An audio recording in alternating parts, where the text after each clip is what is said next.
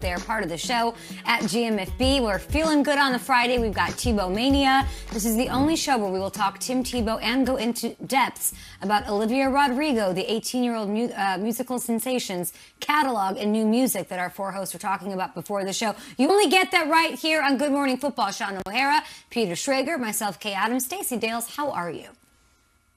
I am fantastic. It's good to be with you guys on a uh, Friday in May. Thank you for having me. Mm-hmm. Love it. We are so happy to have you covering Feel good Friday. up early there in the Central Time Zone. Yep, as we hit the lead block. Tebow. Lead block. Lead block. Stacey, I don't know if you're aware, Tebow Mania is back in full swing, whether you're happy about it or not. It's here. And not just Tebow Mania, tight end Tebow Mania. He was on the practice field yesterday after officially signing uh, there with the rest of his Jaguar teammates in Jacksonville. In a statement yesterday, Tebow wrote in part, I know it will be a challenge, but it is a challenge I embrace.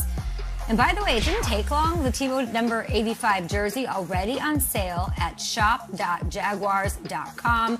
Right next to, look at that, right next to Trevor Lawrence and Travis Etienne. Excitement around the league is there for Tim Tebow. Excitement, of course, in Florida, where he already has a ton of fans from his days playing college football. What needs to happen, Stacey, for you to view this signing as a success for this team? Well, you guys just had to start with me, right? As the uh, the guest here today. Uh, Where do I start with this? Um, I will say maybe Tim Tebow comes back reincarnated as a tight end, perhaps. Listen, I have great respect for Urban Meyer, the culture that he's trying to establish in Jacksonville, Trevor Lawrence, the excitement surrounding this. I have a lot of respect for Tim Tebow. But as I ponder this, as I watch it, I have to say, when I look at the tight end position, you guys, it is so coveted. It is invaluable in this league. It is golden. What tight ends do and historically have done, and what we see with offenses now 12 personnel, 13 personnel, even.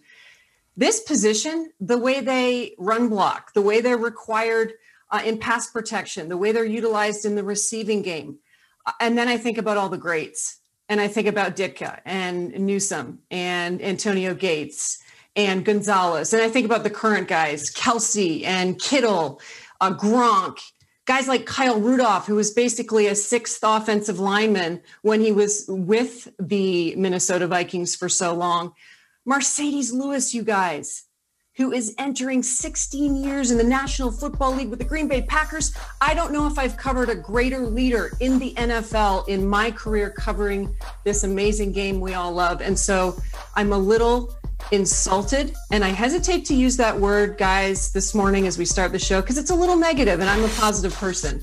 But I'm a little bit insulted because the tight end position for me is absolute gold. So really, when I think about mentorship, that's the best uh, case scenario for me with with Tim Tebow. Outside of reincarnation, can he become an otherworldly mentor if he makes this football team? And, and that'll be the best case for me.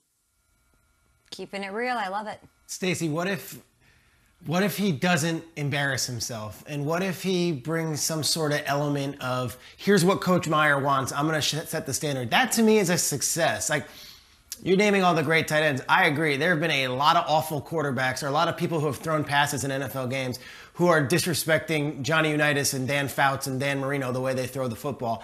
I, I, I look at it as everyone is so upset about Tebow. And I'm not talking about you, Stacey. I know that you're taking it from a rational standpoint. But it is a 90 person roster spot, and he's there in May.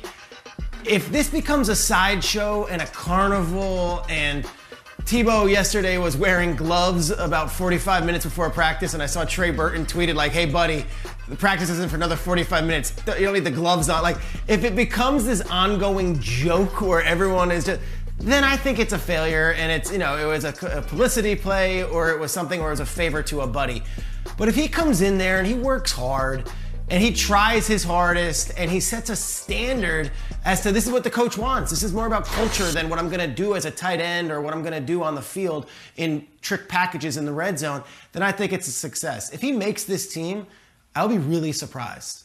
I'll be really surprised. And I'll tell you this if he makes this team, hmm. he'll have earned it because I think a lot of people in that locker room and I'm not speaking for any of them, I think there were a lot of raised eyebrows, not just around the league and on media. I think a lot of people within the Jacksonville locker room who are younger and are not going to be guys who are going to talk out on this or are certainly not going to cross Urban Meyer in their first, you know, parlance with him.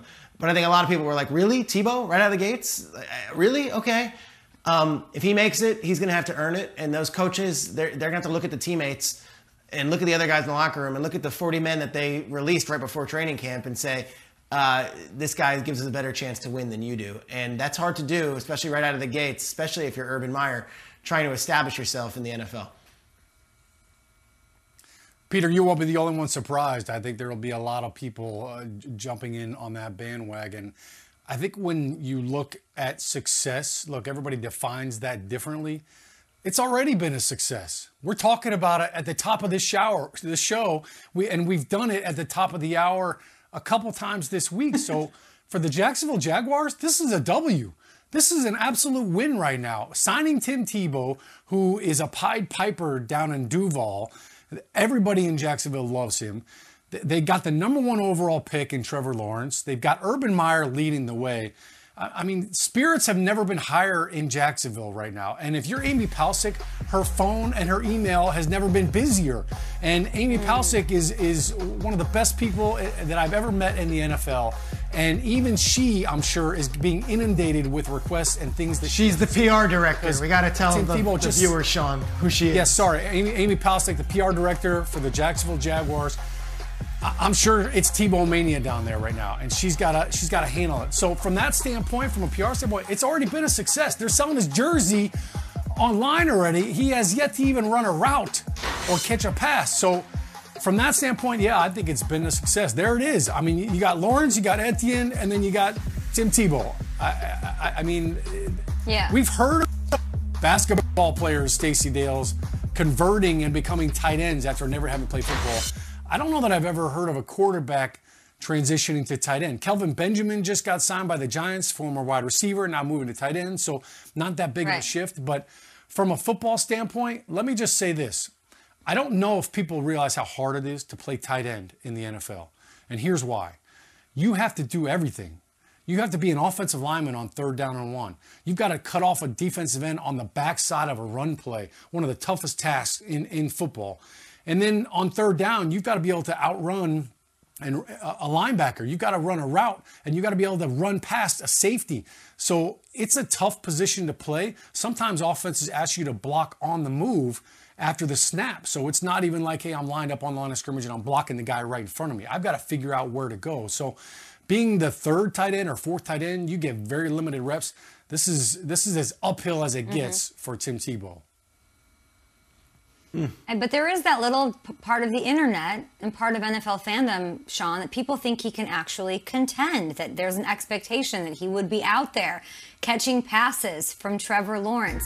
Are you saying that that's impossible? Is there any expectation or possibility Tebow could legitimately succeed at the tight end position, or is this just people getting swept into round two of Tebow Mania? I, I, don't. I, I, just don't see it happen, given everything I was just talking about with the reps. He's certainly not going to be mm. catching passes from Trevor Lawrence in practice because he won't be running with the ones. You know, Trevor's going to be getting all the number one snaps. Tebow, I mean, look to start out with, he'll be able to grasp the offense because of his quarterback background. But just the reps, and he's just he's going to be so raw with everything, running the routes, learning how to stick somebody, and you know how to, how to feint a different route that, that's going to be something that's an art form and that's going to it's going to take time for him to cultivate that skill. I do find it really interesting the dichotomy because the the person like me who never played in the nfl the person who has covered the league for a long time loves a good story i feel like all right tebow's in here. I've really noticed and stacey kay tell me the same the ex-player has had a completely different reaction to this than people 100%. in our positions who are maybe on the outside of the locker room looking in. It is such a trigger point to so many ex players. And Shaun, I think you're voicing it well. I, I get the feeling that this is, like Stacey said, it's not viewed as, hey, let's try this, it's an experiment. It is viewed as an insult to many ex-players who put their blood, sweat, and tears into this. The Marcedes Lewis, so then you're not saying that Marcedes is one of them, but 17 years to be in a tight end and keeping your to yeah. then just get a chance after yeah. eight years away because your old college coach. I find it really interesting. This is the first time, really, in our show's history where the ex player is fully on this side, and it's all the ex players I've spoken to. And then the journalist, maybe the person looking for story, the person who's enjoying a little May storyline is on this side. Uh, it, it's really interesting. I feel and just Kay, very quickly though, the story came out. The, the I, I, just wanted to add, Kay. Let, let's remind everybody there are six tight ends currently on this roster. Okay, Manhertz is at the front of it. They drafted a guy in the fifth round in Farrell. So nine seasons without playing in the NFL. It, it's it's remarkable. I, I can't get past that. I'm sorry to interrupt. I just had to remind our viewers. No, it's 100% true. And not even, and uh, to your point, Stacey, I look at the other, the free agents at tight end, not there in Jacksonville, the guys who don't even have a spot on a roster like Jesse James or Richard Rogers. Yesterday, I thought it was so interesting, Schrags, that Trey Burton obviously has a big familiarity with Tebow. I'm sure he loves Tebow. Trey Burton is, you know, the Tim Tebow of tight ends when it comes to being a stand-up guy. He's a big friend of the show, Super Bowl champion. He tweeted uh, I, we don't have the tweet, but he tweeted uh, there was some footage of Tebow walking out onto the practice field to join his teammates, and he was wearing gloves already walking, and Trey just laughed at it. I don't know if you saw it, and he said, somebody tell him he doesn't have to have the gloves on yet. So that's a guy, Trey Burton is a free agent, if I'm not wrong. So he's a guy who's looking for a job. It's a little different because he's he knows Tim Tebow and is probably his boy, but I think it's so fascinating to hear see that part of this story play out as well.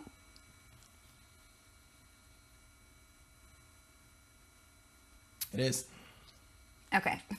We've got a lot more Good Morning Football up ahead. Stacey Dales is here the entire time. Uh, it is hashtag Feel Good Friday right here on Good Morning Football. So we're going to actually put it to you.